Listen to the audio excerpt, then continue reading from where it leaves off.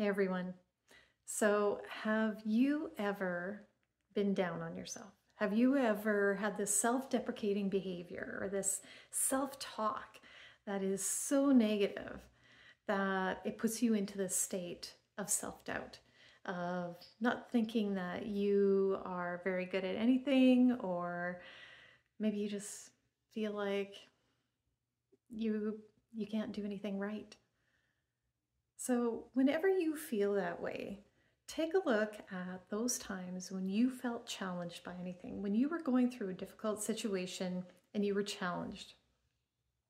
Take a look at that and how you overcame it. Because more than likely, the challenges that you have faced, you've overcome. You went through them and they eventually the cycle ended and you were able to move on, however that looked like.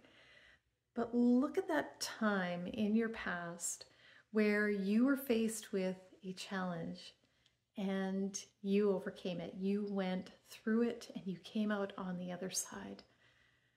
And now it could look messy. It might not be pretty how it all came to pass.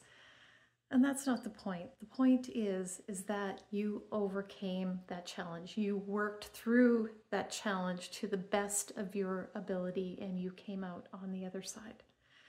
So whenever you were feeling negative, that self-doubt, having that negative self-talk, take a look at what you have accomplished, what you went through, the challenges that you experienced, and that you overcame that. So if you are facing a challenge right now or a difficulty, you can overcome that as well. So I hope this helped you. I will see you next time.